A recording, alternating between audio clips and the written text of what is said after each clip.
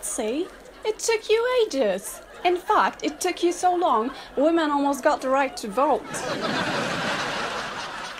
I'm so sorry, madam. There was a queue at the market. Did you get the beetroot? Aye, madam. Thank God. Unbelievable that we've run out of blush. and today, of all days, today when Count Jean is coming, Count John is coming. Well, then you won't need to blush. That's for sure.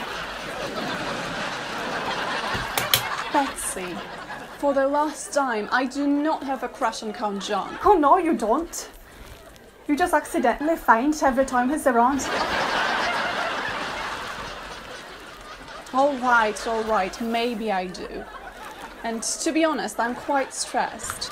Is it is it time for Mistress, Mistress and her maid hype up song. All right, who's, Who's there? there? It's, It's your my mistress, mistress and and she's fine. Now's the time for her to vibe. Itsy bitsy meeny moo. She's I got a a buckle on my shoe. It's expensive 'cause she's I'm rich, and you're just a nasty. That was fun. That was great, Betsy. Now leave. Aye,